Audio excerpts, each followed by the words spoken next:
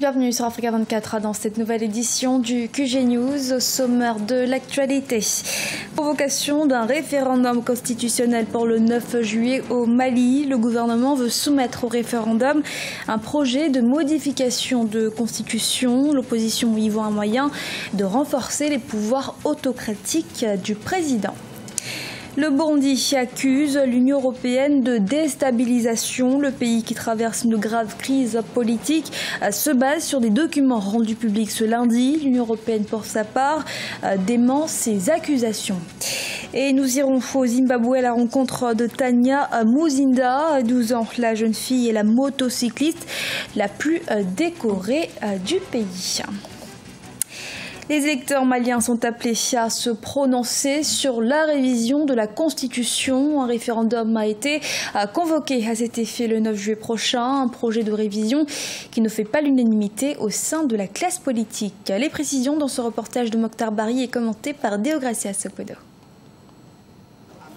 Après l'adoption du projet de loi révisant la Constitution par les élus du peuple, le corps électoral malien a été convoqué à se prononcer le 9 juillet 2017. Des organisations de la société civile hostiles au projet ont donné de la voix à travers une marche qui a tourné court, faute d'autorisation de la part de la gouverneure de Bamako. Après un accrochage avec la police qui a dispersé les manifestants, les jeunes se sont repliés sur la bourse du travail. Ils dénoncent l'usage disproportionné de la force par les policiers. L'État n'est pas présent dans les tiers du territoire national. Donc vouloir organiser un référendum sur toute l'étendue du territoire national est impossible, vu le fait que l'État ne peut même pas mis sur pied à côté de Mago, juste, juste à, à, Ségou, à plus forte raison d'aller à Gao ou à Kidal. Donc impossible d'organiser les référendums dans un contexte pareil. Euh, nous pensons que c'est une violation grave des principes de notre Constitution qui dit que la manifestation est un droit et on a le droit de manifester pacifiquement. Cette marche a pour seul but de donner notre avis sur la révision constitutionnelle. On n'est pas des, des poutistes, on n'est pas des, des, sauvages, on ne va rien saccager, on va s'attaquer à rien, on va faire une marche pacifique pour dire non. Mais malheureusement, l'État vient de montrer encore qu'on est dans un État policier. Si les manifestants voient en cette révision des velléités d'un pouvoir personnalisé, les élus de la majorité, eux, se veulent rassurants sur le bien fondé du projet. L'initiateur de ce projet de loi que le président de la République n'a pas d'autre agenda que le Mali. Donc, en, soumettant le projet de loi à l'Assemblée nationale, il veut renforcer, il veut renforcer euh, la démocratie, il veut aussi stabiliser le pays. Donc, parce que quand j'ai regardé le projet de loi, ce n'est pas le problème des mandats, ni la laïcité, ni l'intégrité du territoire, ni autre chose. Je pense aujourd'hui que les fondamentaux restent L'opposition qui a rejeté le projet de loi se réunissait au même moment. La campagne pour le référendum débute le 23 juin et s'achève le 7 juillet à minuit. Au Burundi, les autorités accusent l'Union européenne de venir en aide à des activistes burundais des droits de l'homme. Objectif déstabiliser le régime du président Pierre Nkurunziza. Selon le communiqué publié par le pouvoir de Bujumbura, l'Union européenne a dénoncé ce mercredi 7 juin de fausses accusations. Un sujet de la rédaction. Bujumbura accuse, l'Union européenne récuse. Le 5 juin, les autorités burundaises font une annonce. Ils affirment détenir des documents dévoilant le rôle de l'Union européenne dans la crise qui secoue le Burundi depuis 2015. Les faits précisent le communiqué du gouvernement remontent à plusieurs mois avant l'insurrection et la tentative de coup d'État de mai 2015. Dans ces documents en circulation, il est rapporté que l'Union européenne a procédé à des financements à l'endroit des personnes physiques ou morales impliquées dans la déstabilisation politique du Burundi et actuellement sous mandat d'arrêt émis par la justice burundaise. Pour l'Union européenne, ce sont de fausses accusations. L'organisation soutient que l'aide fournie à certains activistes burundais s'inscrit uniquement dans le cadre d'un programme officiel, l'objectif étant la promotion de la démocratie et des droits de l'homme. Aujourd'hui, dans, dans sa stratégie de résistance, et le gouvernement s'enferme dans ce que je pourrais, je pourrais appeler une sorte de, déni total, euh, de refus de voir la réalité en face. Je pense que le président Kouroundiza euh, proclamé c'est enfermé dans une sorte d'autisme politique, je ne pas voir la réalité en face. Les relations entre Bujumbura et l'Union européenne ne cessent de se dégrader. Il y a un an, l'organisation internationale, principale bailleur de fonds du Burundi, avait pris des sanctions contre le pouvoir de Bujumbura. Accusé de graves violations de droits humains, le Burundi a toujours refusé de participer au pourparlers de paix avec l'opposition dite radicale.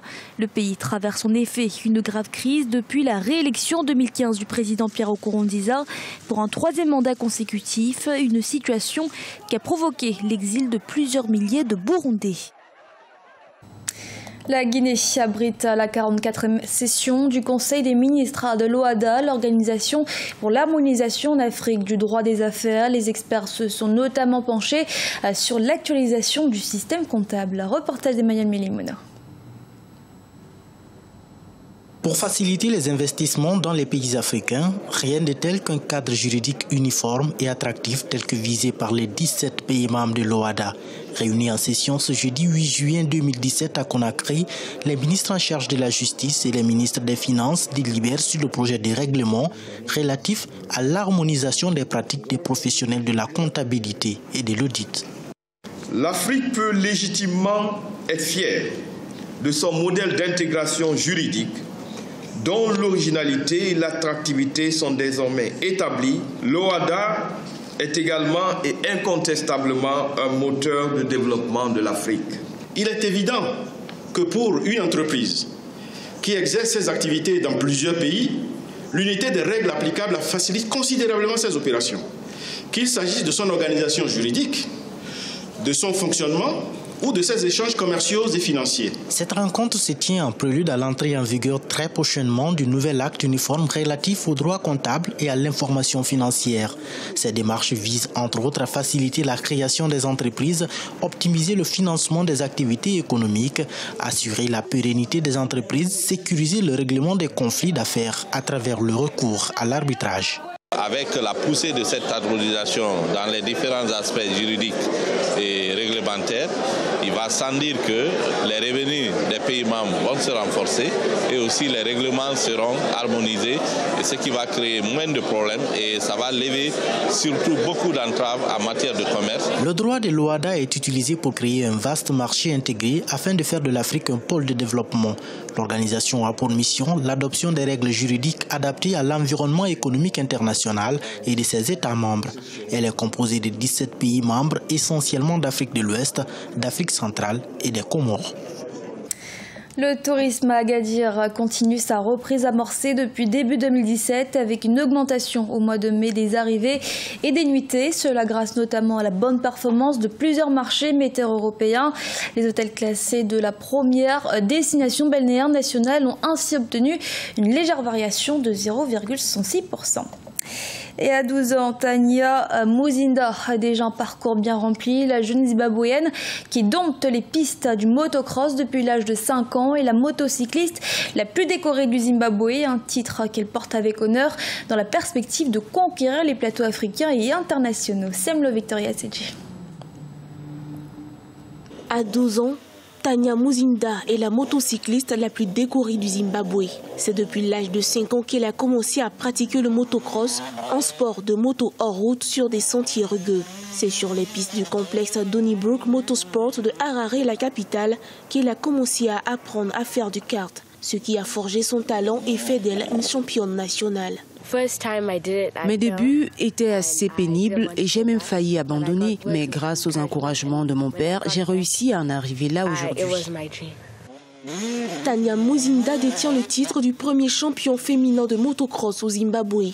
Elle a déjà ravi d'autres prix, dont celui de l'adolescente sportive de l'année 2016. Aujourd'hui, elle représente pour sa génération un modèle de réussite au féminin. J'étais heureuse d'avoir reçu le prix de l'adolescente de l'année dans mon pays en 2016.